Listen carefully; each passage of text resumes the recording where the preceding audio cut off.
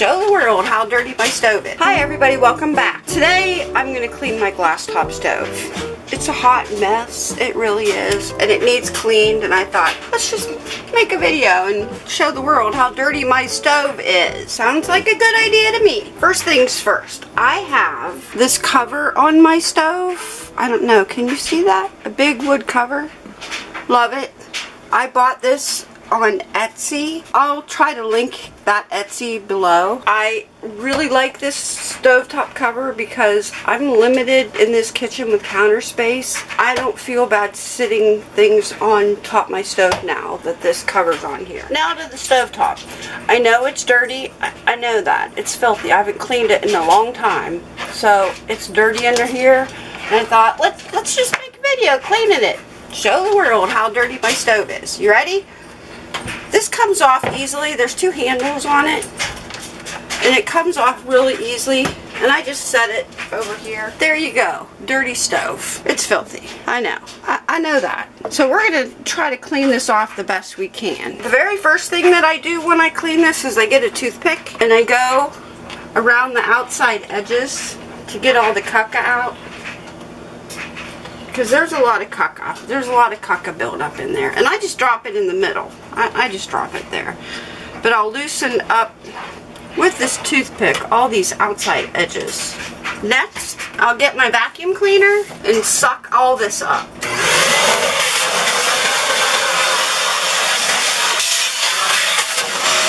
What that does, it just makes it easier to clean. You don't have to pick up crumbs and junk extra crumbs and junk. After that, I take some Cerama Bryte. Not sponsored, but I like this stuff. It really works. I will link this in my description in case you want to go buy some because it does work. And I'll just spread it on there. And I have a sponge that has the scrubby side. It's not a hard scrub, but I'll just kind of put it all around here and let it sit. Just let it sit for a minute or two. Just get it all around. Because the Cerama Bryte does the job. You don't really have to scrub a lot with the Cerama Bryte. And if there's a spot, I know, like up here, there's a little bit of gunk, so I'll just sit that on there and rub that in there and let that sit there. And I know right here I always have a problem. I don't know why but I'll just let that sit. This stuff, it really does work. It really, really works. It works well. I also have a bucket of water over here, a little, well, a bowl of warm water. So now I'll just start scrubbing. I'm not scrubbing hard. I'm, I'm basically just rubbing. The Cerama Bryte just does the job by itself. I looked for a while trying to figure out what to buy for this to clean it and I've tried a couple different things and I found I do like this the best. I do like this the best. There. And I'll just let that sit just for a little bit, like a minute or two. And um, we'll be right back. It's been sitting. Now I'll just rub it. Just because I had bacon. I know there was bacon grease on here. I, I do know that much. And over here, I always have a sticking problem for some reason. I don't know why. It, it gets it up good, and I've tried other products to get it up. This works the best, and it's just being stubborn and won't come up. I, I don't know. It just doesn't, it just wants to stay there. I could get a razor blade and get it off that way, but I'm scared to death to do that. And this burner I use, I use all, all the time. That's all I'm doing. This, this is it. And then I take the other side and just kind of wipe it. You can see that it's clean.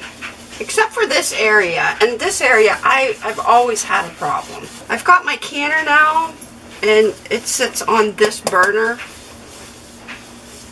If I would have known, this stove, I got it a couple years ago, and if I would have known I'd been canning, I, I would have purchased a gas stove.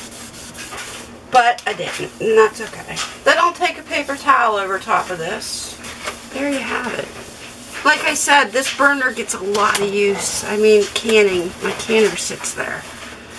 And I try hard not to move the canner because I know it will scratch this stove. but I have moved the canner and I know that I've scratched it. If you have to go get another paper towel, because it looks like I'm going to. This is a Norwex rag, the window cloth. I use this often on things. No, I don't sell Norwex, or it's not sponsored by Norwex. I just like Norwex products. Now, to clean the part up here, this is a bottle of water and alcohol mixture, and I'll just spray I put it in a spray bottle. You can use a paper towel if you don't have the Norwex rags. Because I don't, Norwex rags you're supposed to use with like nothing. But I use it with this alcohol and I like it. I do what works for me. I suppose you could use vinegar also. When the virus hit and I made myself a bottle of alcohol water to clean things, I was just amazed. I could take those off too, but that's not happening either. I was amazed at how at how clean things were and how shiny things were just from the alcohol water. So I chose to make it just clean with this. I don't clean with this all the time, but if I want it to really shine, I will. Other than the scratches, I think it looks great. I mean, I do can on this and uh, there's nothing I can do about that. Alright, I will link the Etsy shop in my description and I'll also link the Cerama Bryte that I used to do that with. And I will see you in my next video. Bye.